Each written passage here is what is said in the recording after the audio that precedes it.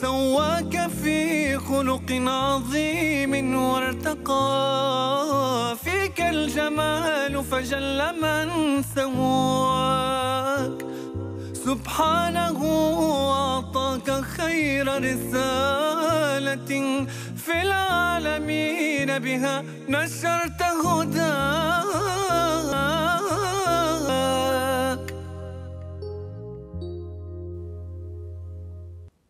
السلام عليكم ورحمة الله. عليك السلام. مرحبا دكتور علي. أهلا وسهلا بك. آه، نزلنا نتحدث عن عن صحابة رسول الله صلى الله عليه وسلم وما لقيه هؤلاء الأصحاب الك- الكرام في سبيل الله من أذى وتعذيب سواء كان ماديا أو معنويا.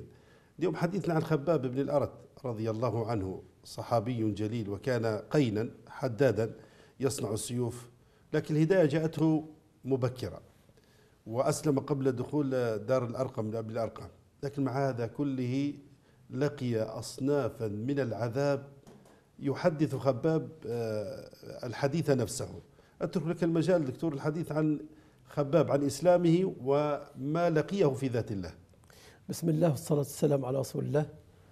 أما بعد آه، في نقطة بس في مقابلة بين سيدنا سعد بن أبي وقاص وبين مصعب رضي الله عنه هذا أم وهذا أم هم اثنين. هم اثنين أمهات يعني آه.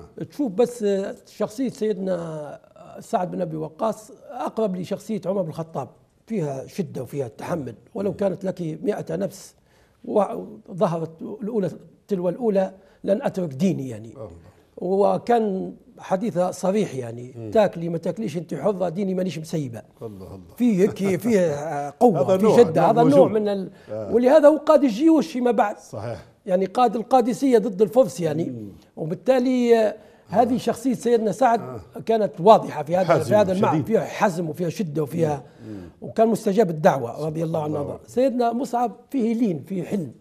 ما دخلش في مشاكل لا مع لا مع أمة لا مع وأخذ وأخفى حتى إسلامه هو. أخفاه يعني بلغ عليه عثمان بن عثمان. بن ط- ابن طلحة بعكس سيدنا سعد بن أبي وقاص رضي الله عنه نكتة جميلة فعلا والله. وكان أيضا النقطة الأخرى أن كان مصعب رضي الله عنه وارضاه طالب علم متميز يحفظ في القرآن يحفظ في تعاليم النبي صلى الله عليه وسلم وفي صفات الدعاة. يا سلام. ولهذا من كبار الدعاة إلى الله سبحانه وتعالى يعني منهجية الدعوة إلى الله.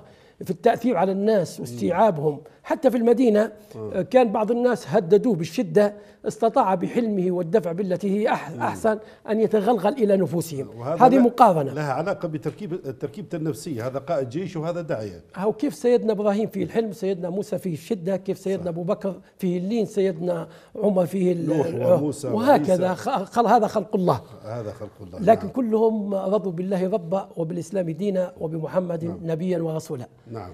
نحن تكلمنا عن الآن لون آخر من ألوان المجتمع. والرجل حداد يصنع في السيوف سبحان الله. ويصنع في الأشياء الحداد. يعني وإذ بالإيمان يتغلغل ويصل إلى نفسه. هذا معناه الإس- الإسلام قاعد ينتشر في كل الشرائح دي. لكل الناس. هوش الناس. ليس للفقراء أو للأغنياء. المضطهدين فقط. وإنما هو للملوك والأمراء والأغنياء والفقراء والضعفاء والحدادين والأطباء والمهندسين والتجار لكل. ألوان البشر لكل يا الناس يا سلام. قل يا أيها الناس إني رسول الله إليكم جميعا بدون استثناء. فهذا لون من الألوان هذا الحداد واذ بالايمان هداية الله له سبحانه وتعالى يجد نفسه في دار الارقم بن أبي الارقم يا سلام. طبعا عن طريق الدعاة إلى الله أخذوه. آه، أكيد. لسيدنا أبو بكر والجماعة اللي معاه اللي أخذهم في البداية رضي الله. عنه وأرضاه. آه. فوجد نفسه في دار الارقم بن أبي أق- الارقم دخل في عالم جديد. الله الله عالم الإيمان عالم الإي- الإيمان باليوم الآخر بالجنة بالنار بالقرآن بالأنبياء بالمرسلين. وبدأ ظهر هذا الإيمان على سلوك آه، خباب رضي الله عنه وأرضاه. أهل الكفر لم يرضوا هاي المرأة أم أنمار الخزاعية. آه، مولاته آه شفت النساء في حتى إنها حتى هن في الكفر فيهن شدة فيهن عنف. آه في المعاصي في الكفر. فيعني وصلت معناها هذه راجعه لنوعية القيم اللي يحملها الإنسان. هذه. آه بالضبط. سواء كان رجل ولا مرأة ولا علاقة شاب مره ومره لها علاقة بالقيم. بالقيم الذي يحملها. نحن شفنا أم الخير. ناس أم أبي بكر. واللي يكون إن فطرتها سليمة. آه.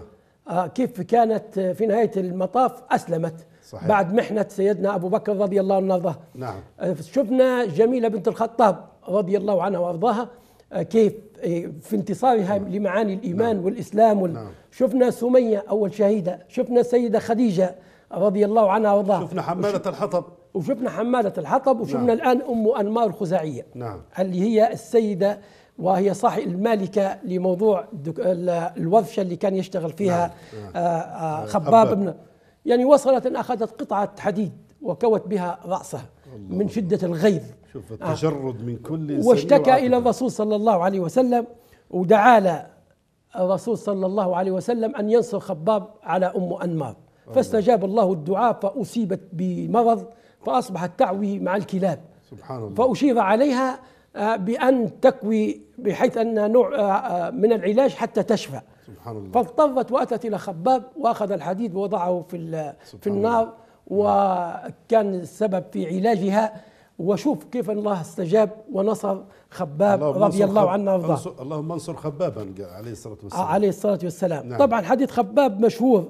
لما جاء للنبي صلى الله عليه وسلم وهو متوسد بردة له آه، في ال- في الكعبة. نعم. فقال له ألا تستنصر لنا؟ ألا تدعو لنا؟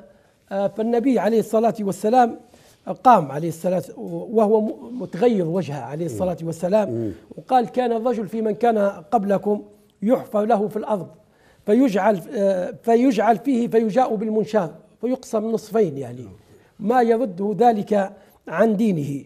وبين ويمشط بأمشاط الحديد من شدة العذاب. وهذه طبيعة الدعوات الأنبياء والمرسلين لابد من المرور بسنة الابتلاء. فشرحت هذا فشرح النبي صلى الله عليه وسلم آه، لخباب آه، أهمية سنة الابتلاء نعم. وأن هذه سنة الله في السابقين وفي اللاحقين. وبين له إن مروا بظروف شديدة ويمشط بأمشاط الحديد من دون لحمه من عظم وعصب وما يصده ذلك عن دينه. والله لا يتمن لا يتم لا يت ليتمن إن الله الله هذا هذا الدين. الأمر حتى يظهر الله هذا الدين من صنعاء إلى حضر موت. لا يخاف إلا الله والذئب على الغنم. نعم. ولكنكم تستعجلون. يعني هل النبي عليه الصلاة والسلام دكتور الآن يعني استنكر على على على خباب أنه آه، لما طلب النصرة لا تستنصر لنا لا تدعو لنا فقام كان متوسدا على بردة يعني متوسدا ببردته على ال- ال- الكعبة فقام وذكر له آه، القدوة وذكر له صنفا كانوا يعذبون في ذات الله ثم أعطاه البشارة. والله ليتمن الله هذا الأمر حتى يسير الراكب من صنعاء إلى حضرموت لا يخشى إلا الله والذئب على غنمه. ولكنكم قوم تستعجلون. لو وقفنا عند كلمة لكنكم قوم تستعجلون يا دكتور وهي في المرحلة المكية. هو طبعا هو أسلوب الطلب ألا تدعو لنا. ألا تستنصر لنا؟ فيه شيء من العجلة ولهذا الرسول صلى الله عليه وسلم تغير وجهه. لكن في نفس الوقت يبين لك هذه القلوب اللي أمضها العذاب ونهكها الجه- الجهد. ويعني ال- وشدة ال- ال- الاست- الصخرية والاستهزاء والتعذيب. وهم أصلا فيهم من لا يقبلون الضيم وممنوعون من الرد يعني منحهم النبي عليه الصلاة والسلام من استخدام العنف والقوة فالرد على هؤلاء. سبحان الله. وهيك عبد الرحمن بن عوف جاء السيد للرسول صلى الله عليه وسلم قال إحنا كنا عزة في الجاهلية. اترك بيننا وبينهم. فقال لا لا تستخدموا أي لون من ألوان الشدة. الله حتى قال قالوا بعض العلماء تصفى النفوس.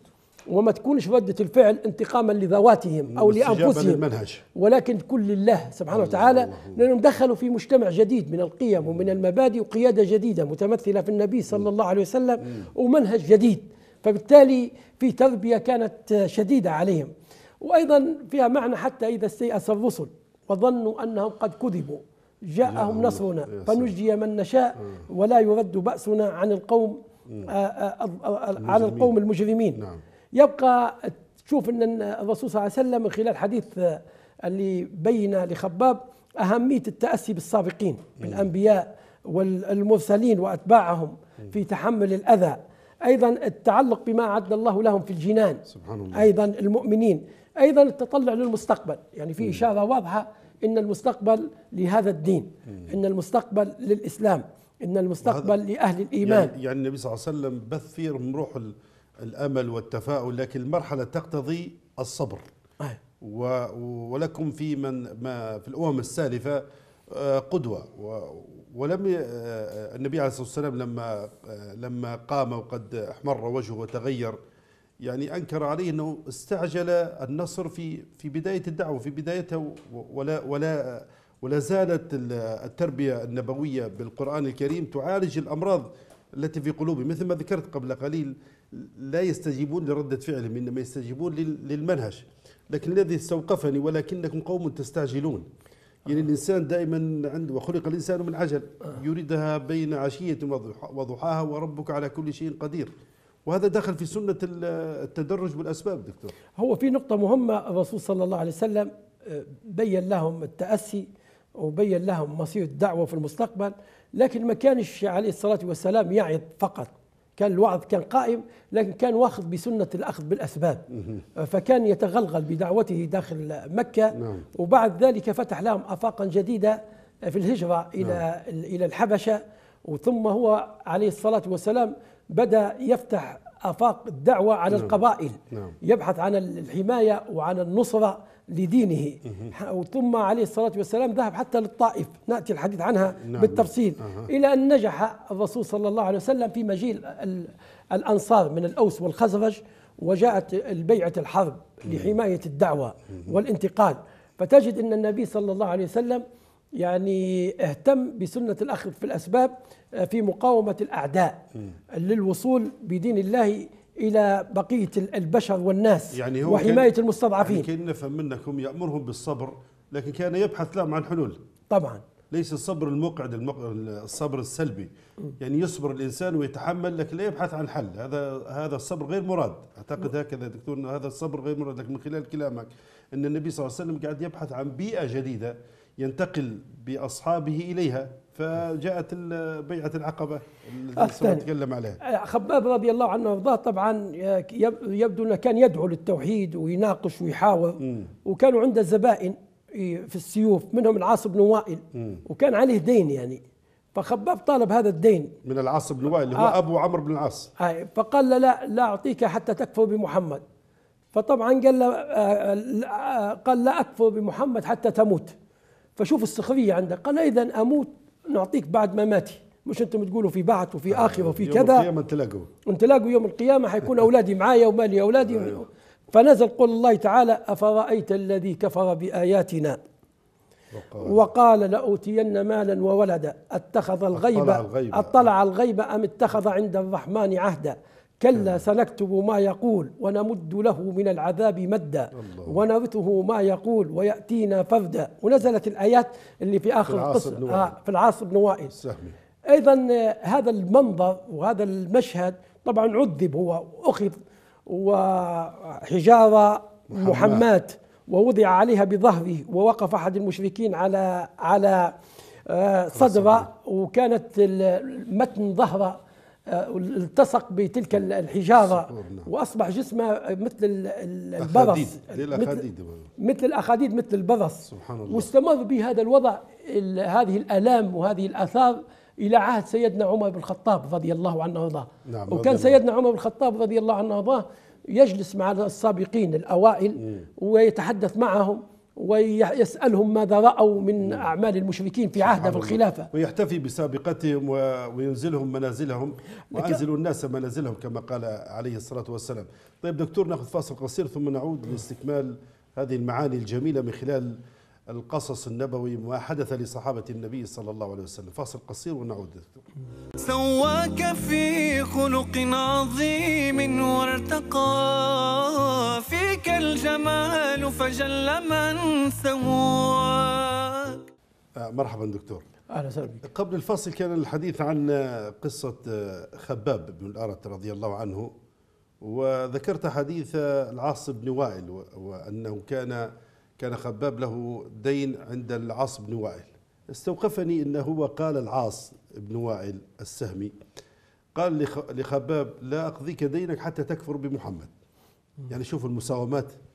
هذه دائما قضية ال- ال- المساومة وهو محتاج إلى المال وقي وحداد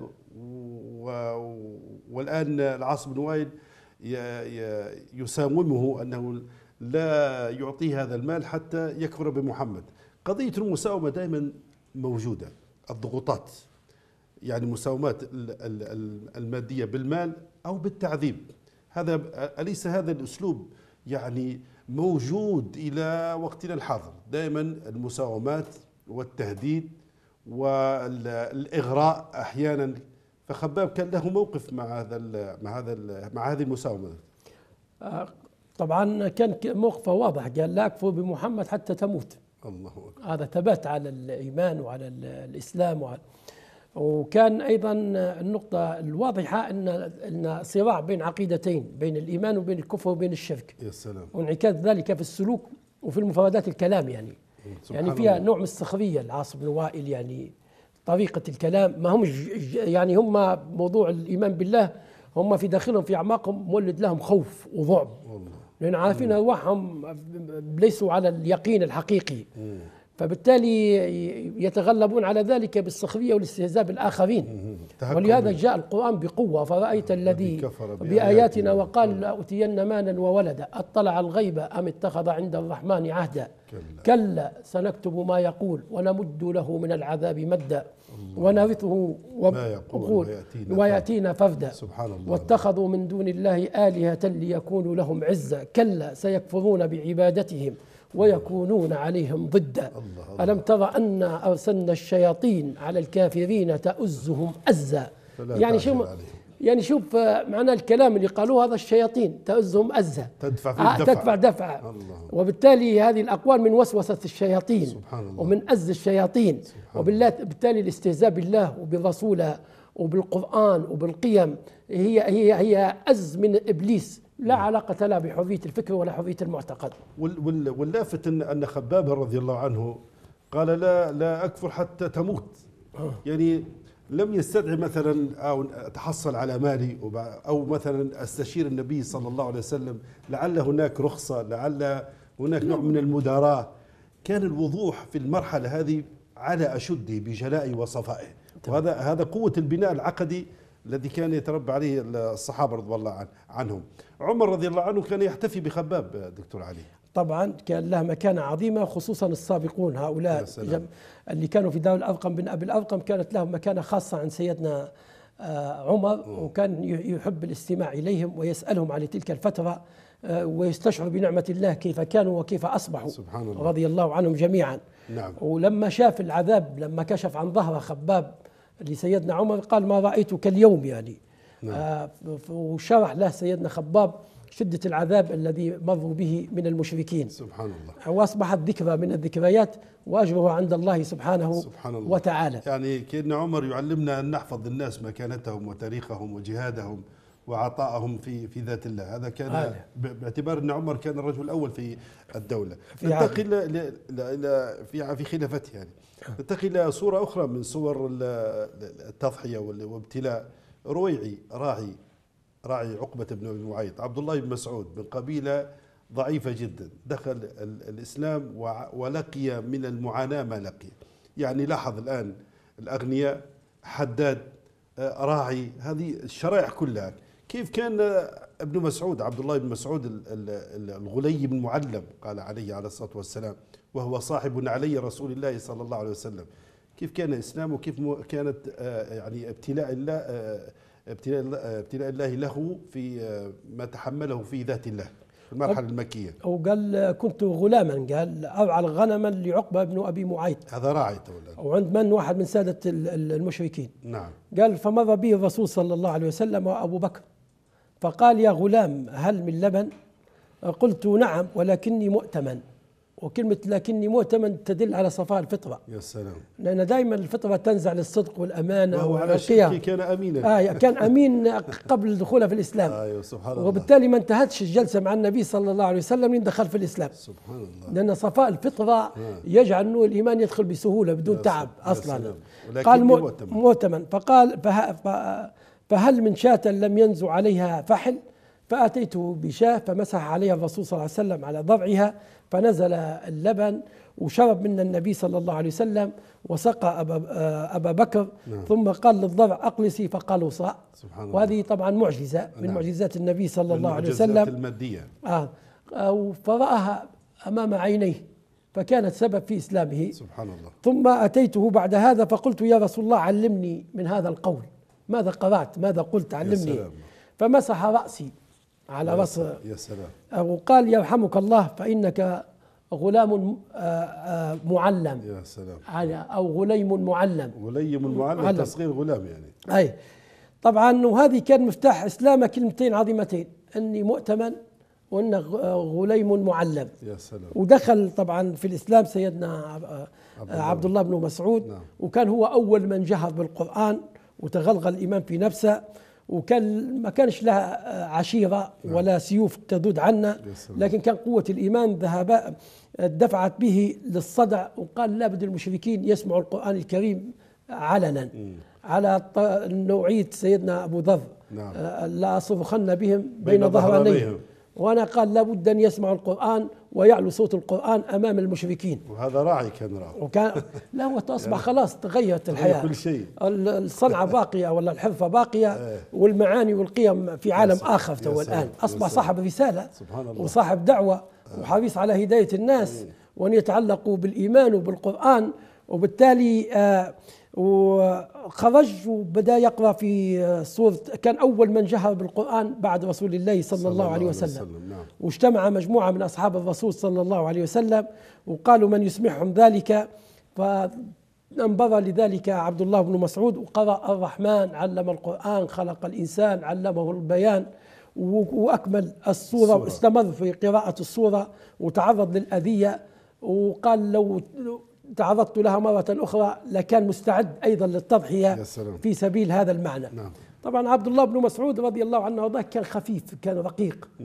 وكان من ناحية جسم من حيث الجسم. البنيه البنية البنية بتاعه كان رقيق يعني. رقيق الساقين. وقال إن الرسول صلى الله عليه وسلم هذه أعلى عند الله من أحد آه، من من حيث جبل الم- أحد. من جبل أحد. إنها أثقل في الميزان من جبل من جبل أحد. أحد. وأيضا يعتبر من كبار الفقهاء والعلماء في عهد سيدنا أبو بكر الصد... آه، عمر بن الخطاب.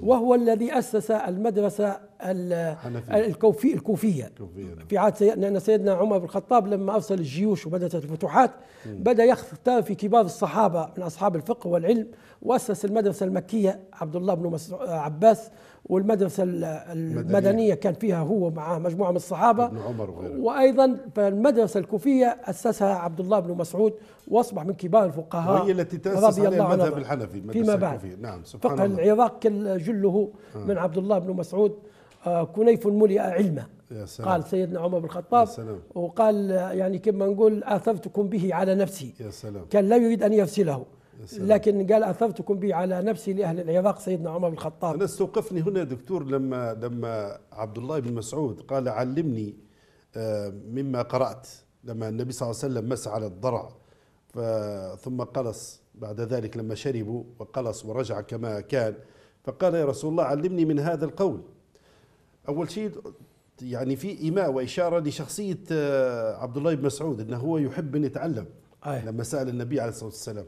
ثم المعلم عليه الصلاة والسلام قال قال عبد الله بن مسعود فمسح على رأسي مسح على الرأس من النبي عليه الصلاة والسلام على راعي بسيط من قبيلة هذيل لا يؤبه له ولا يلتفت إليه ولا يذكر في الأشعار ولا يمدح وإذا بالنبي عليه الصلاة والسلام على مكانته وجلاله يضع يده الشريفة المباركة ويمسح بها على رأس ابن مسعود أكيد لها أثار ومشاعر و آه، آه، آه، استصحب أيضا مع مع مسح على الرأس أن قال له يرحمك الله. يعني هذه هذه رسالة لل لل- للداعية دكتور في ال- في الرفق. ونحن في وقت في وقت نعيش فيه نوع من من القسوة والعنف في التعاطي مع المخالفين. هو ليست للداعية لكل مسلم. نعم. لأن كل مسلم يفترض أن يكون داعية. نحن شفنا الحداد وشفنا الراعي وشفنا كيف بمجرد ما دخل الإيمان والإسلام في نفوسهم ما فيش طبقة اسمها داعية في, في الإسلام. كل المسلمين دعاة إلى التوحيد. جميل. كل المسلمين دعاة إلى الإيمان. كل المسلمين دعاة إلى القرآن. ولهذا كل من وصلت إليه دعوة النبي عليه الصلاة والسلام شباب بها. رجال نساء أشكال والوان. انطلق وأصبح والراعي أصبح في وسط مكة يتلو في القرآن الرحمن علم القرآن خلق الإنسان علمه البيان. خباب يدخل في جدل وفي نقاش مع العاص بن وائل السهمي حتى تموت. سعد بن أبي وقاص آه، مع والدته. وبالتالي إن هذه الأخلاق للداعي لا لكل مسلم. يعني هذا التصنيف غير صحيح لكن هذه طبيعة الإيمان. طبيعة الإيمان. هكذا لا يتحرك. يا سلام. ويعني كما أن الذين قالوا ربنا الله ثم استقاموا. والله. تتنزل عليهم الملائكة ألا تخافوا ولا تحزنوا. ثم ذكرت الآيات إلى أن قالوا ومن أحسن قولا ممن دعا إلى الله. وعمل صالحا وقال إنني من المسلمين. أهل, أهل الضلال وأهل الشر وأهل الظلم يدعون إلى مناهجهم, مناهجهم الشيطانية. نعم. وأهل الإسلام يبقوا مترددون في أنفسهم. هذا لا يليق بمن رضي بالله ربا وبالإسلام دينا. وبمحمد نبيا ورسولا.